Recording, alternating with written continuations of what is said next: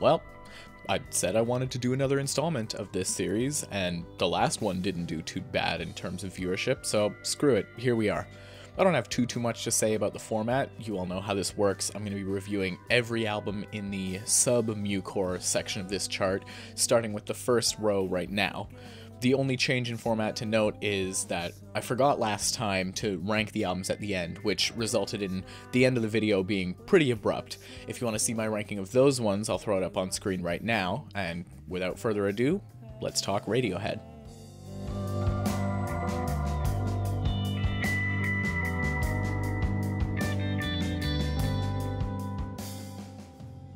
What the hell am I even supposed to say about OK Computer?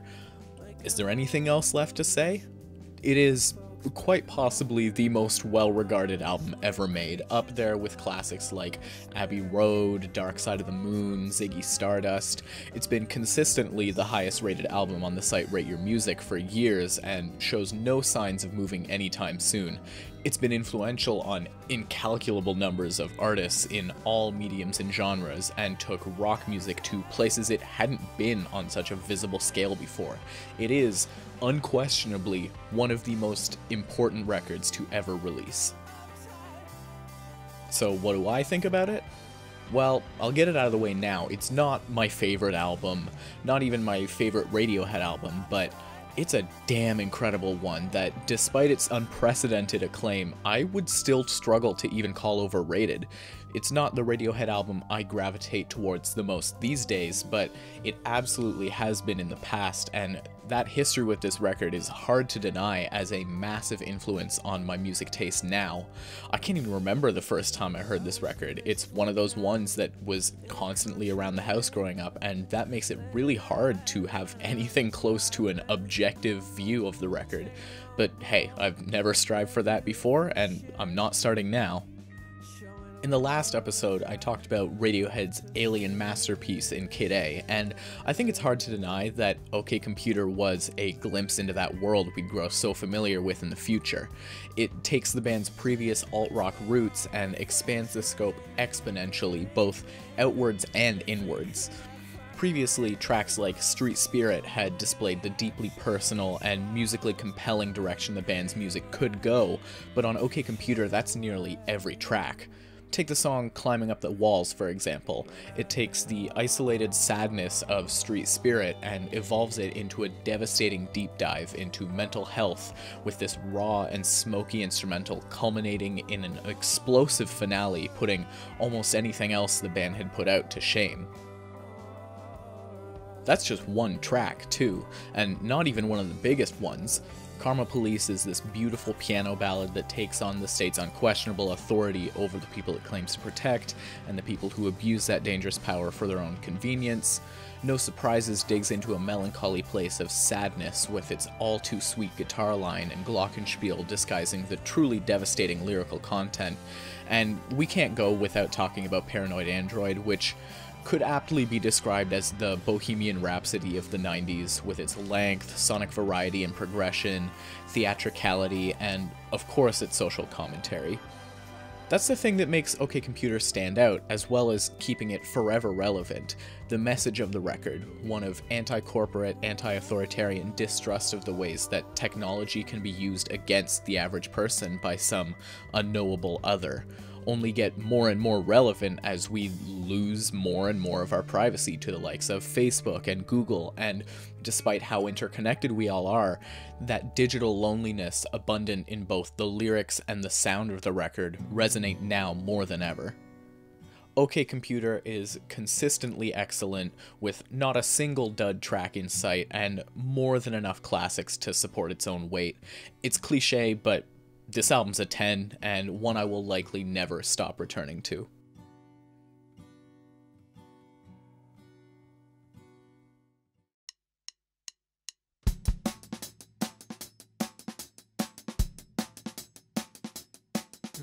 So, remember last time when I said Kid A was my favorite Radiohead album? Yeah, about that. Kid A is still, to me, a perfect album, but recently something about In Rainbows has started clicking with me a lot more, and I'm going to do my best here to define it. See, everyone loves In Rainbows, but I find that a lot of the time when I try to figure out why everyone loves it so much, they also seem to struggle putting words to the record's sound. And I don't think that's unintentional. The instrumentation, vocals, and production on this record are immaculate, easily some of the best I've ever heard. But when I think about In Rainbows, that's not what comes to mind. Instead, I feel this gut level emotional response, unlike anything else. I feel this sense of longing, of loneliness, but of hope and passion as well true to its name, In Rainbows feels like the most colorful and expressive record the band ever put out. It's touching to see a band so deep in their career put so much heart into a project like this, one that's so quaint and intimate compared to the material they were famous for. And when I say quaint, I mean it strictly relative to the rest of the band's discography. We don't get the shrieking cacophony of a My Iron Lung or the gritty anger of Myxomatosis. Instead, the swelling beauty is more subtle and close, with intricate string symphonies and clean guitars laden in reverb rather than distortion. The closest thing we get to that energy is Body Snatchers, and while that's definitely a banger, even that has a softer side to it in the bridge that ties it in and makes it feel like an essential piece of the track list. And that brings up the other thing that blows me away within Rainbows, its track list. I mentioned earlier that for me there isn't a single dud on OK Computer, but I could definitely hear a case for something like electioneering not being the most fitting inclusion. On In Rainbows though, I couldn't even meet you halfway on any of these tracks, they're all perfect. 15 Step with its propulsive 5-4 time signature sucks us right in, but it's also one of the only moments of electronic instruments on the entire record, easing us into the concept of a Radiohead return to its roots, but in a much more matured form. From there, it's just classic track after classic track with the beautiful tragedy of Nude, the driving distorted bass of All I Need, the echoey sweetness of House of Cards, and the massive climax of Jigsaw falling into place.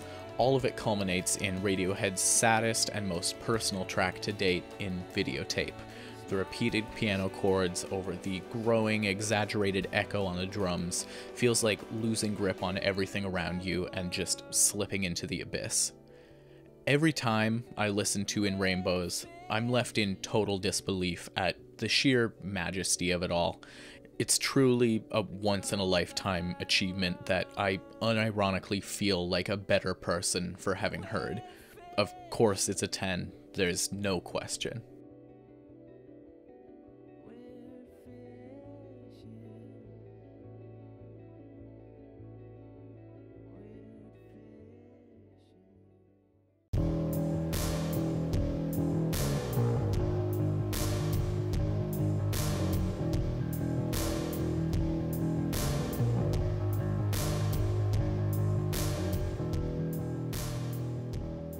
There's something to be said about an album like this, one that defies most definitions and stands alone as something totally singular, and its relationship to the review format.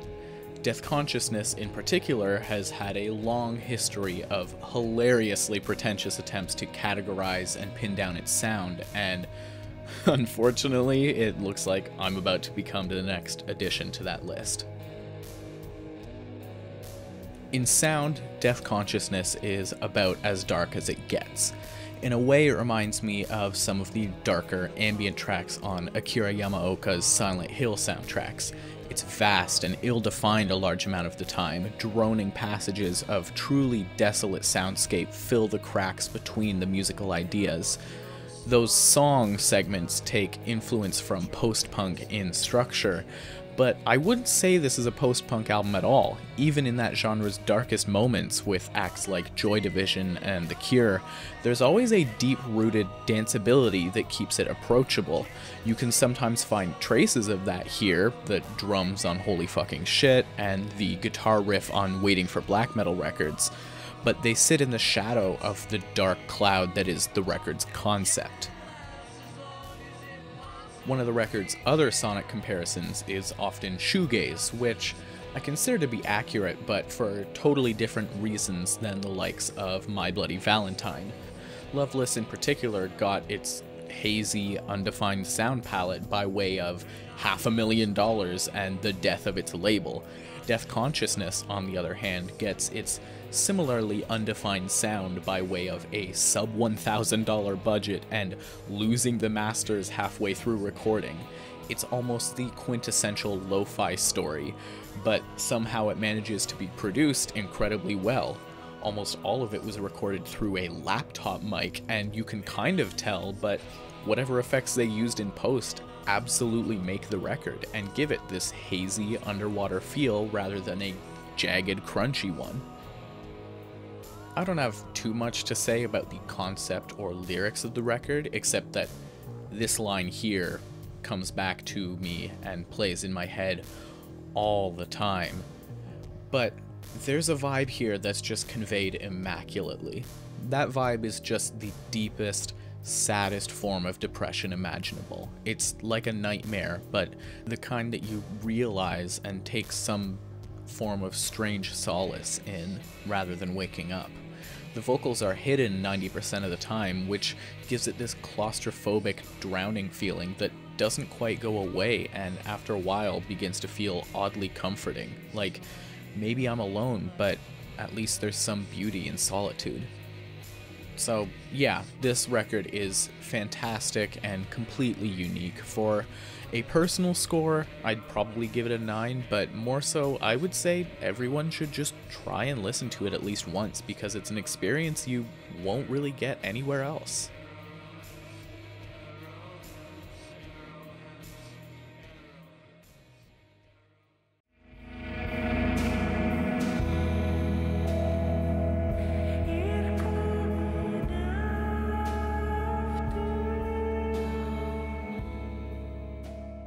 Now, I'll say it right out the gate, this was probably the hardest record to write about for this video, not because it's taxing in any way, but because, frankly, I didn't think I had anything to say.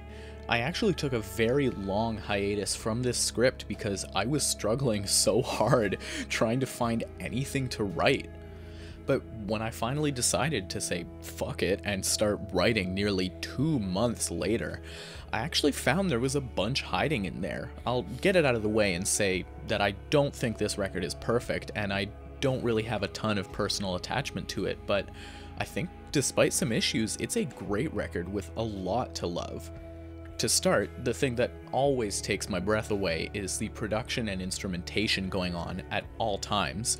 Right away on the first track, we're shown the breadth of this record's sound, beginning with a pling sound reminiscent of Pink Floyd's Echoes and evolving gradually and seamlessly into this majestic scene laid out with a sweeping low end, soaring vocal layers, and reverb laden cymbals that loosely tie it into a cohesive whole. It's truly spectacular, and it only continues onto the next track, which gives up a majority of the last track's instrumentation in favor of this truly gorgeous string section underpinning the vocal melodies that croon on past this point, we get yet another taste of one of my personal favorite aspects of the album, which is the bass. When I think about this record, the first thing to come to mind is the keyboard bass line on track 6, Bam Bam Bam. But even more impressive in the moment is the thick, plodding bass lines that envelop the mixes of tracks 4 and 8, as well as many others throughout. The other instrumental slash production technique that shows up on nearly every track here is this cacophonous, shoegaze esque wall of reverb drenched feedback that loops into itself in tandem with the songs, giving it this larger than life feeling that is genuinely awe inspiring. So, why, if I love so much about these tracks, did I say I'm not quite sure I get this record? Well, it's two things, really. First, and far less damningly, but still worth bringing up, I'm not always into the vocals here. For the most part, they're fantastic, and they ride some excellent material for most of the track list, but there's generally at least one moment per track that doesn't quite hit me the way I think it's intended, and I think for as good as the performance is on the last two tracks, The title track mixes the vocals way too high in a way that I find jarring, and the opposite is true on the closer, Avalon, which is drowned out in distortion in a way that I understand what they were aiming for, but doesn't quite hit the mark for me. The more notable issue I have is actually going to sound pretty rich coming from me, but it's the length and pacing of some of these tracks, as well as the record itself. Now, obviously, it's a post rock album, so of course it's going to be long and patient, but I do find there are definitely some times on certain tracks that I just feel are a little drawn out. The one that especially comes to mind is track 3, which, while I praised the sound of the vocals over the strings earlier in the review, I actually find it to be a bit of a drag for the last 2 or 3 minutes of its nearly 7 minute runtime. The individual songs aren't actually my main issue though. I think the actual reason I struggle with this record is the overall pacing of the track list. Obviously, with each track being this long, it can be hard not to feel like things are starting to drag, but honestly, I think with a little bit of rearranging and maybe a little more ruthless of an editing down process, this record could have been pared down to a nearly perfect 50 or so minutes. As it stands, the record feels like a collection of excellent tracks with a similar vibe, but I guess I've come to expect a more tangible through line in my post rock that this record doesn't quite have. With all that said, this is still a fantastic record that is obviously a classic and well worth a peep if you've liked anything you've heard so far. I think nearly every track here is excellent, and while I do wish it was a bit better paced overall, I don't think it's rough enough to detract too much from this beautiful work. I feel like an 8 is appropriate for this one, still an extremely hearty recommendation.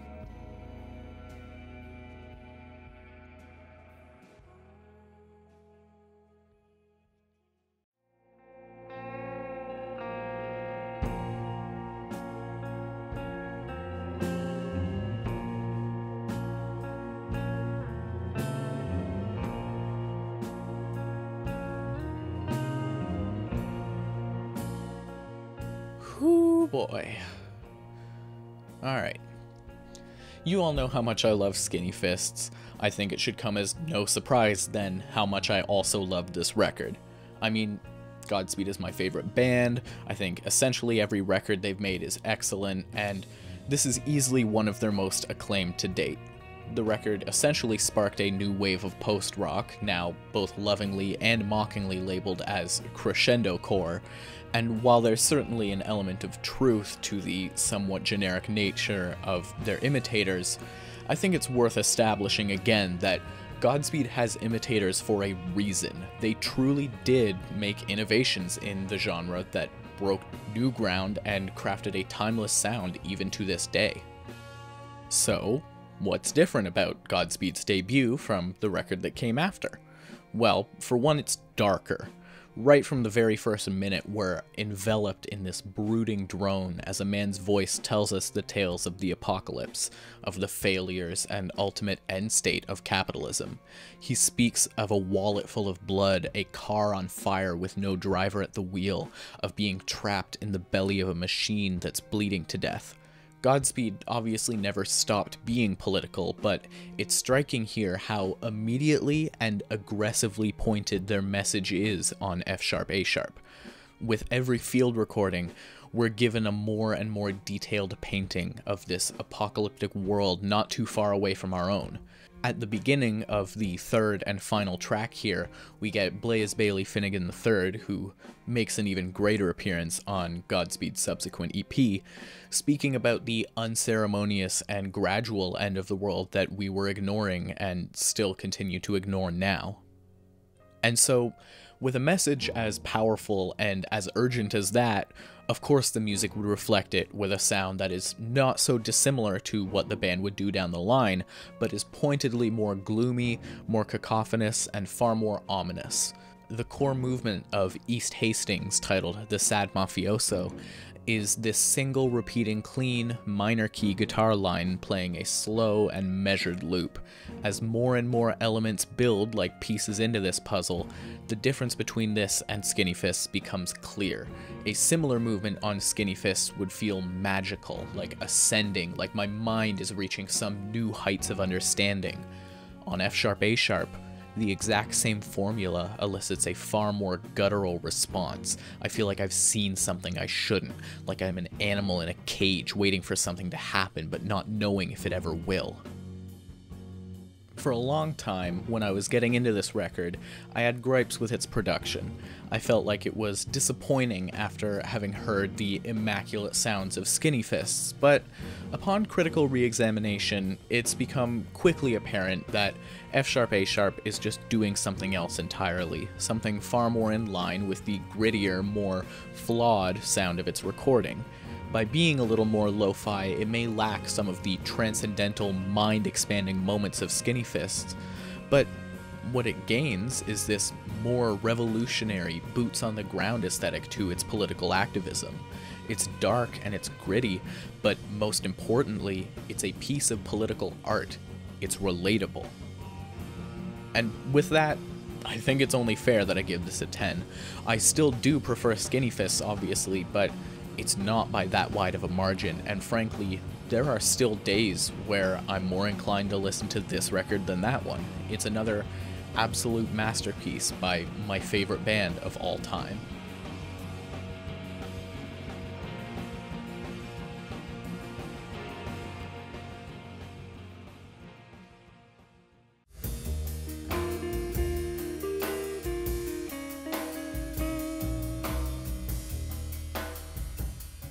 It's interesting that I'm talking about this record directly after the Sigur Rós one, because in a lot of ways, that record only really exists because of Talk Talk's records, Spirit of Eden, and of course, Laughingstock. See, back in the early 90s, when post rock was starting to find its legs for the first time, the genre was very distinctly split between two sounds. On one hand, you had the dark, mathy dirge of records like Slint's Spiderland, and on the other was a more orchestral and even jazz influenced sound that you'd find on records like this one. By the end of the decade, we would see them coalesce into something more uniform like we see now, with records like Soundtracks and Godspeed's material really cementing what post rock means. But it's always fascinating to see the dual approaches to what post rock could have meant in its origin. And so we have Laughingstock, essentially a direct sequel to the very first post rock album. It takes the wide and at times cacophonous range of instrumentation that Spirit of Eden brought to the fray and stretches it out to its limits. The tracks here drone on more, they're a lot more patient, and the mixes in particular have a much more intimate attention to detail. It's easy to get lost in the waves of tiny instrumental flourishes throughout this record the songs are really quite excellent as well, with the first few tracks in particular being a massive standout. Over the course of nearly 10 minutes, After the Flood explores every nook and cranny of its instrumental ideas while never outstaying its welcome, with lush organ solos contrasting noisy walls of feedback elsewhere in the song. Ascension Day has an energy to it that calls back in large part to the more immediate and structured form of Spirit of Eden, and Taphead, despite being so relatively simple and going for so long, barely feels its length at nearly 8 minutes. The vocals are also a great standout on this record. I'm genuinely quite picky with vocals in my post rock, since to me the genre has always been defined by its instrumental structures more than anything else. Mark Hollis's voice, though, is a perfect fit for the record. His range is impressive, not just in tone, but also in volume and timbre, maintaining the sense of breathy calm and space present in the rest of the instrumentation without getting lost in the fray. I do have my gripes with the record as well. I think Newgrass in particular overstays its welcome, and while I re- do really enjoy the innovation and importance of how slow and drawn out the sound is. I do still think I prefer the sheer amount of stuff going on with Spirit of Eden a bit more. This one sits pretty solidly at an 8 for me. Still a very important record, though, for one of my most beloved genres.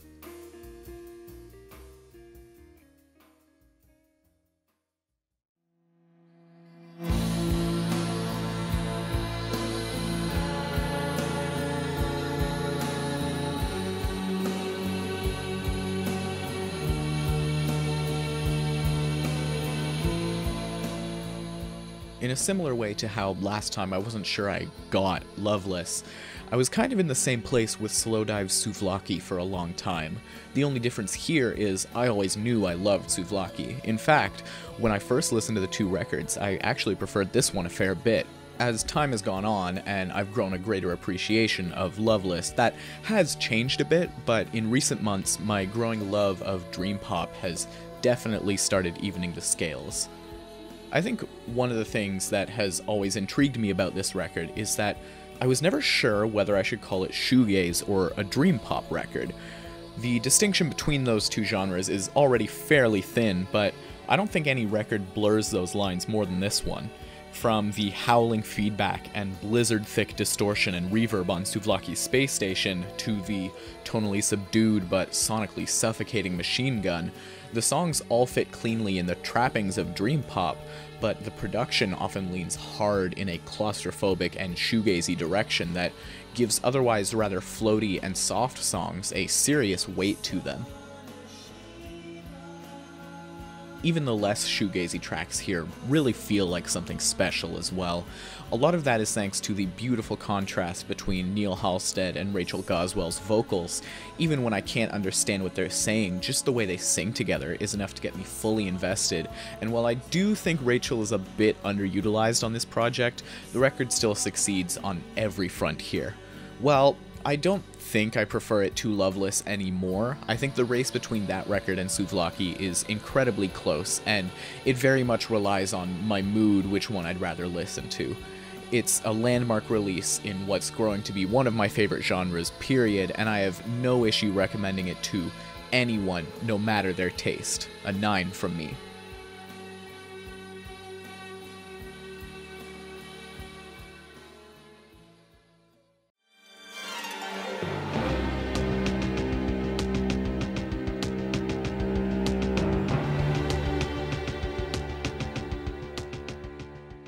I cannot tell you just how excited I am to finally be talking about Björk on this channel.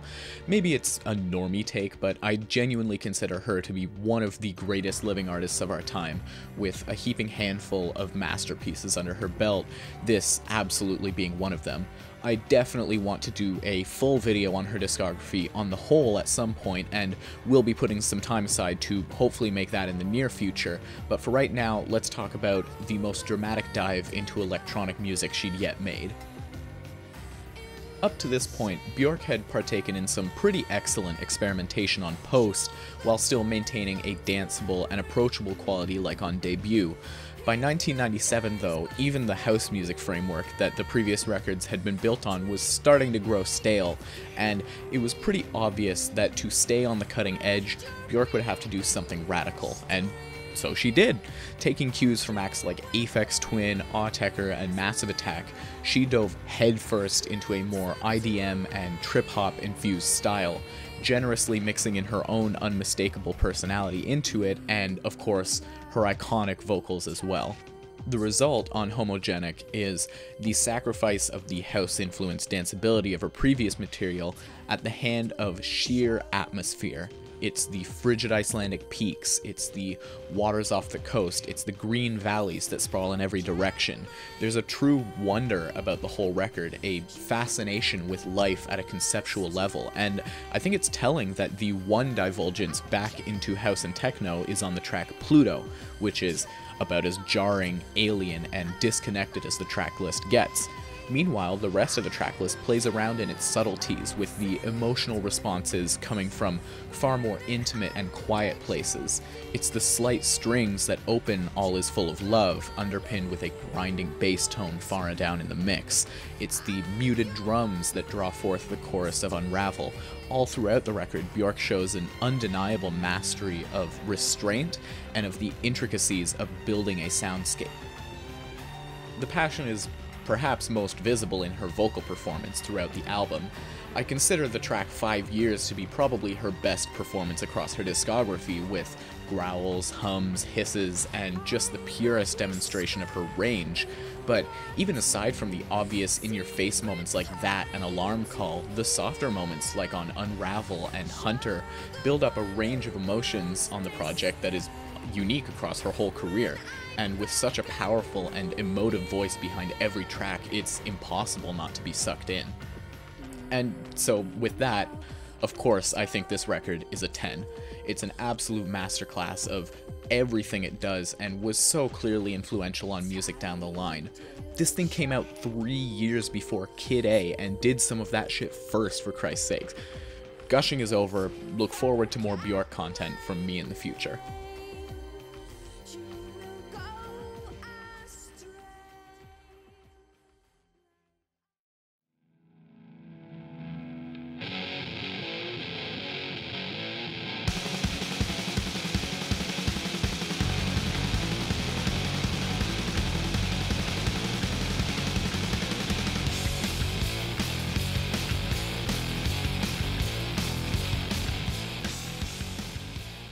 I didn't do any kind of grand research for this statement or anything, but by my estimate, this has gotta be the most universally popular album on this chart. And for good reason. I mean, it's fucking Nevermind. Are you kidding me? You don't need me to tell you that this is the record that changed everything. It signaled the end of the glam era and the beginning of grunge as a mainstream movement, grunge music had obviously existed before this point. Nirvana and especially Kurt Cobain took great inspiration from acts like Mudhoney and Sonic Youth when they were building up their sound, but never had it been so refined as on Nevermind. It was the tightest the genre had ever been, the best produced the genre had ever been, and by far the most commercially successful. And in some ways, I think that could have been a detractor for me, if only to a small degree for grunge and punk purists, it absolutely is, but frankly, the more I age past my elitist phase of thinking, oh, it's gotta be abrasive or it sucks, the more I come to accept that, yes, Nirvana's Nevermind is a masterpiece that deserves the mass acclaim it's received. So, let's talk about the music here. And frankly, I don't even know where to start. Side A of this record is literally untouchable with classic after classic after classic after classic. The furthest thing in the first six tracks from a smash hit is Polly, and that's all you should need to know to understand the record's classic status. For as much as we joke about it, the edgy teenager's first favorite song, Smells Like Teen Spirit, is undeniably a phenomenal song, and as an opener, it completely undoes any worries one could have had about giving Nirvana a production budget. It's loud, it's anthemic, it does everything you'd want a grunge single to do, and for that, it literally changed the entire cultural landscape of the decade. It truly is the song of a generation. Beyond that, singles like In Bloom, Come As You Are, and Lithium all carry on that perfect and iconic songwriting the band would become known for. Drain You is by far my favorite in this camp, with its mildly discomforting lyrics and that sick, practically ambient bridge that sounds like being sucked down a pipe or swallowed. Breed has also been another all time favorite for me, being one of the first songs I ever learned on guitar, with this blistering energy and a great sounding but stupid simple guitar solo that Kurt kind of made his trademark. That leads me to some of the more interesting material on here for me, which is the entirety of side B. Territorial Pissings immediately kicks us into gear with a freakish rendition of the Youngbloods' Get Together, followed by some of the most ear blistering distortion and power chord feedback on the whole record. Kurt's vocal performance here is freakish and animalistic in a way it rarely even was on Bleach, and we see this again on Stay Away. As we close the record out, though, we get a very different side of the band that has stuck with listeners for decades since. On a Plane is this beautiful alt rock track that really shows some of the musical talents that the band on the whole possessed. Raw energy aside, they could absolutely write a flawless song. But it's on the closer, Something in the Way, that we really get the truly raw stuff. Stripping away the layers of anger and distortion reveals a version of Kurt that is honestly telling in hindsight. A down tune and out of tune acoustic guitar is the sole underpinning for the practically mumbled ruminations of someone possibly predicting the devastating effect the choice to go mainstream would have on his own life trajectory. It's the calm before the storm of touring and public appearances, and as the strings subtly build in the back, it serves as a tragic closer for the record that changed everything. It's a 9 out of 10 for me. It doesn't hold as much personal impact as other records and performances from the band, but to pretend it's anything less than a masterpiece and a classic would be stupid.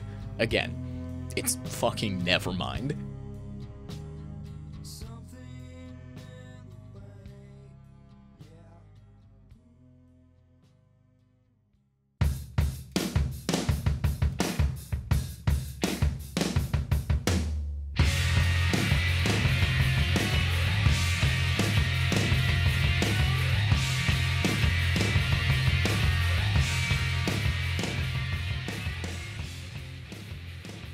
three years after Nevermind, everything changed.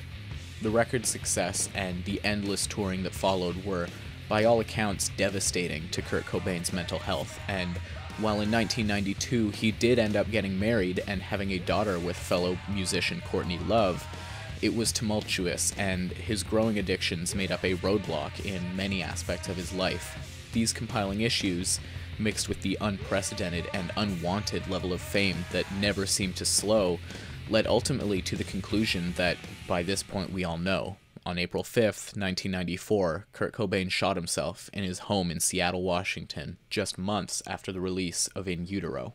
He was just 27 years old. This record, more than any other in their short discography, lives totally in the shadow of Kurt's story.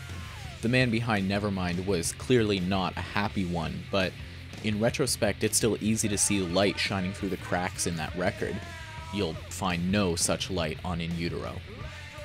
The more polished and professional sounds that made Nevermind's singles such hits is all but gone on this record. In its place is something primal and animalistic, something unkempt and demoralized to the point of unrecognizability.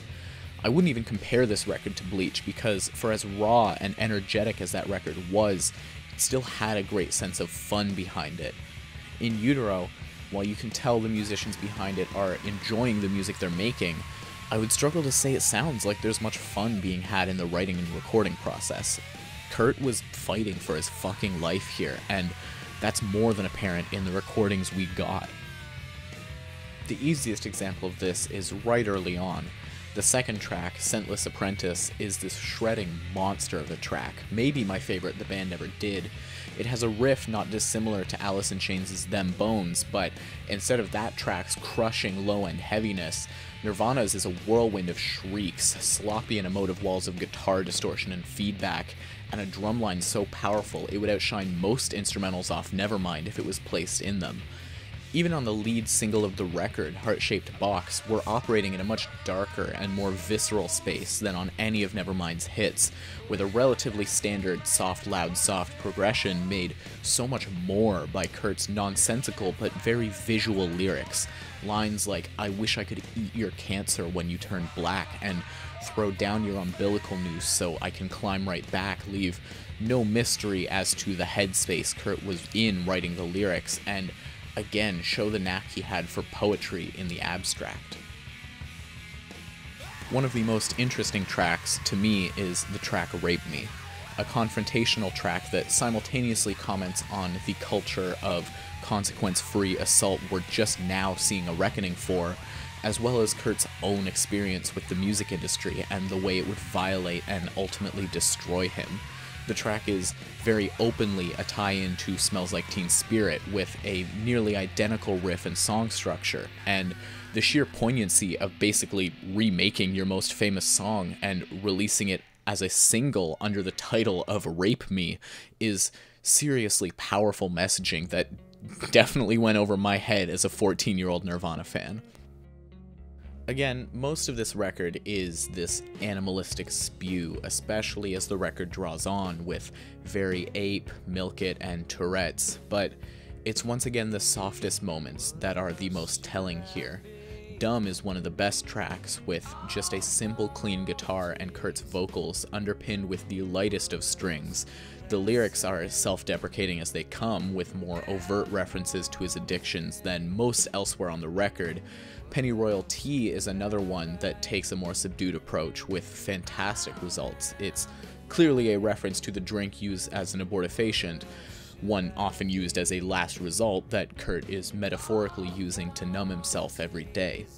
And of course, we close with All Apologies. It's the final track on any of their studio albums, so of course it's been examined to death, torn inside out, and scraped clean for meaning by listeners.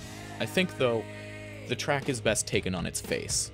Kurt's here, he doesn't know what the thousands of faces staring at him want from him, and he can't stand the guilt of not being able to satiate everyone who wanted everything that he couldn't give.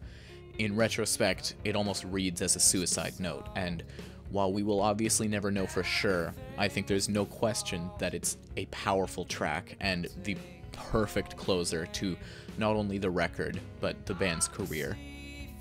I don't know what else to say, really. It's a super strong 9 for me for whatever that means, and it's definitely one of the most important records for anyone into music on the whole. It's fantastic.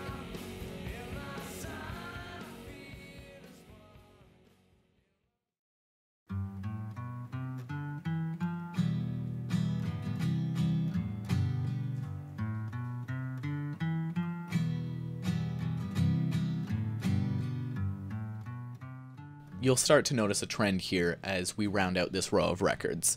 It's not overly subtle, but I think it's worth pointing out. The entire last third of this episode is about albums made by artists who tragically died incredibly young. The musical stylings of the four records are all quite different, but their placement together feels very intentional.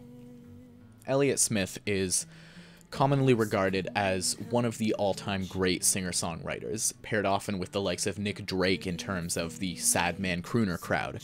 There are a fair few comparisons you could make between the two musically, but I think the obvious one a lot of people lean right into is the fact that they both made sad music and then killed themselves.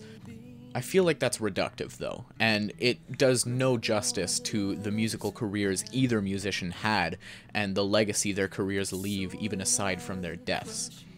In particular, the case with Elliott Smith feels bizarre to me because, for the genre, his music is actually far more positive than some of his contemporaries.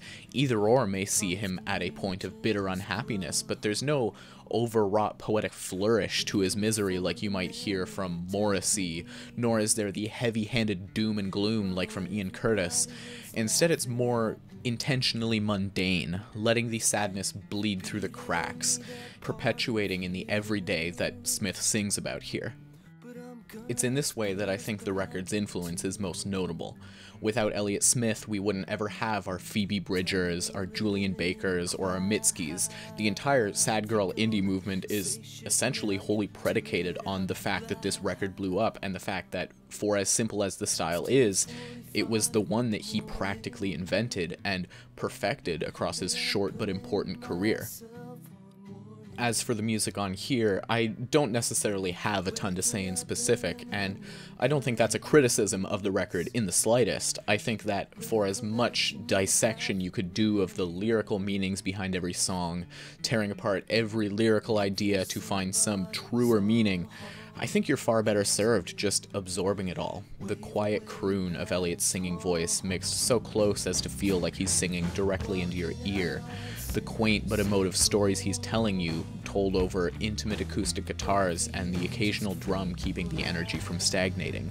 Dissecting the record into its individual parts may be fun and pretty easy, but I feel pretty strongly that to do so is to do a disservice to the record. I think personally, it's an 8 for me. I don't have as much emotional attachment to this record as I do to others of his or the artists he influenced, but there's no denying that it's a powerful and important record that I would not even remotely begrudge you for saying is one of your all time favorites.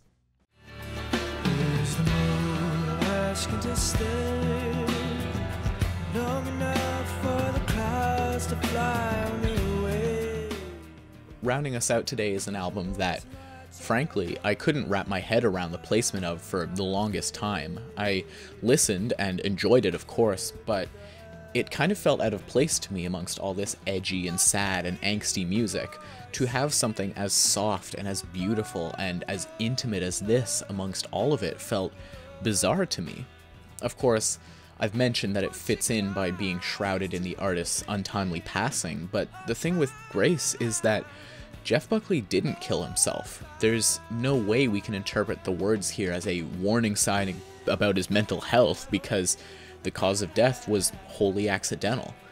And yet the record is still completely shrouded in death. Perhaps then it's the tragic family history beforehand that brought on this practically cult status the record has accumulated. Jeff's father, Tim Buckley, was also a cult classic folk singer in the 60s before taking his own life at only 28 years old. It's not controversial to say that the parallels between the two are at least unsettling, the Buckley curse, as it were.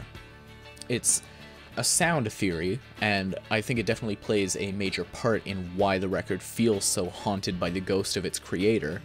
Ultimately, though, I think the music itself does its fair share of deliberation around life, death, and the meanings therein. Mojo Pin nearly desires death, it feels, while Lover You Should Have Come Over seems to mourn it. Eternal Life talks of a prison for the walking dead.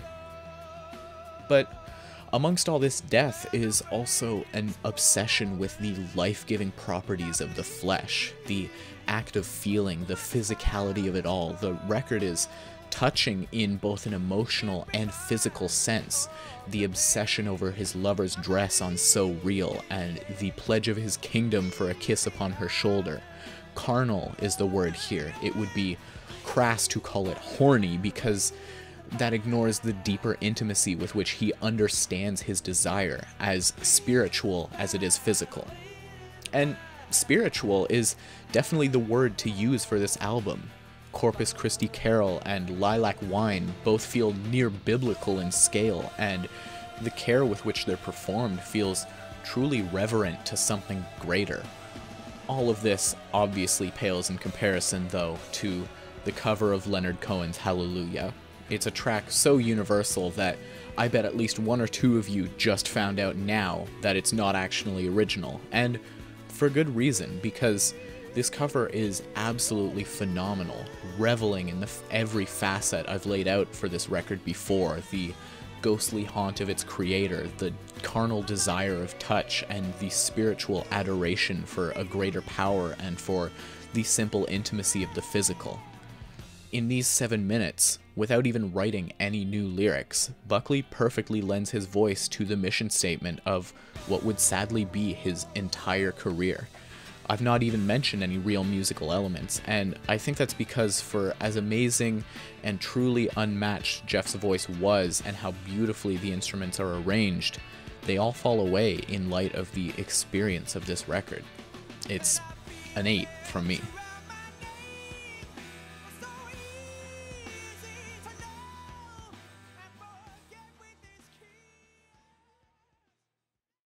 And that's another episode in the bag.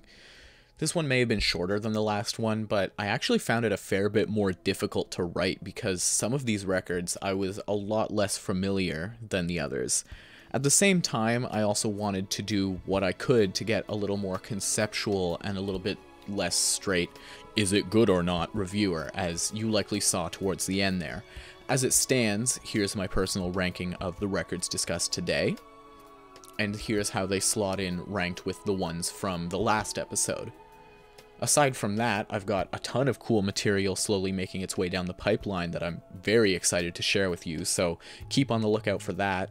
Either way, I hope you found something to enjoy with this, and would love if you'd sub to me on YouTube, Patreon, or see me on Twitter. It feels kind of dirty to start using YouTube end card language, but you know what? Here we are. Have a good one.